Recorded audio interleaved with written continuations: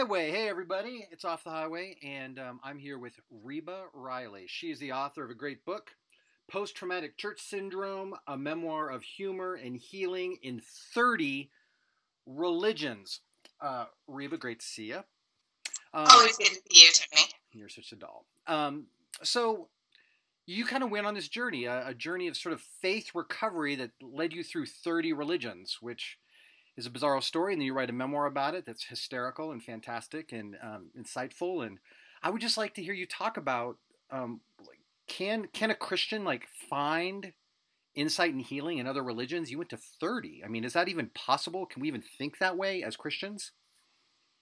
Well, when I went on the journey, I didn't identify as Christian. Oh, so that's a good starting point. Um, to answer that question, absolutely. I think we almost have a mandate to seek truth wherever it's found, wherever there's love and light. And I can tell you from visiting firsthand, thir- I think it was 37 by the time I was done at different places and types of worship, that in every place I found one person or one principle at least where that love and light was very, very present. Hmm. So yeah, absolutely. I think I think we can. So that kind of lifestyle of harvesting wisdom um, wherever we go. I mean, what what advice would you give to sort of the someone who wants to be spiritually whole as they walk out in the world and they're meeting all these diverse people? You know, when I am going through my days now, I feel like what what I took from that whole journey is that idea of of of gathering the wisdom. And I know you wrote a book a lot about. Uh, for, remind me of the title. There was, a, there was a book about neighbors and wise neighbors, neighbors and Wise Men. Very good. Neighbors and Wise Men. Yeah, where you know when I when I am I consider things.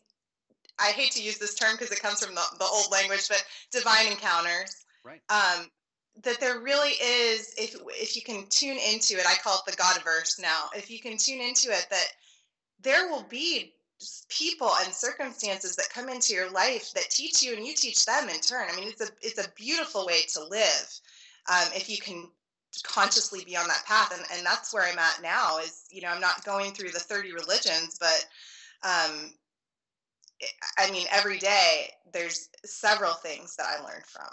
So great. I'm amazed by religious people are so quick to use these like sky high terminology about God. God is omnipresent and omniscient and omni, omni, omni, you know, and yet, um, and yet we're not willing to say God is omni-creative, able to speak in all places at all times through anyone in any way. We somehow want to limit God in that way. God can never speak to me through a Muslim, for instance, or through a pagan, or through a Wiccan, or whatever. And like, what, what kind of God is it? that Your theology is set up for you because that doesn't sound like the God I read about in the Bible, or that our language seems to support.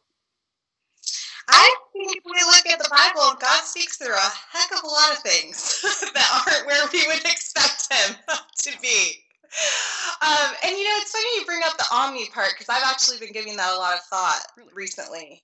And uh, a way that I've come to think about it is um, the, the so the force that is always all around us the force that is causing trees to grow that's causing the seasons that all that is i mean that is all around us and that is that is god force you know? I mean that's that's what we're tuning into. So i don't think it's it is all around us. Like there's no denying it. It's what keeping your heart beating um, everything.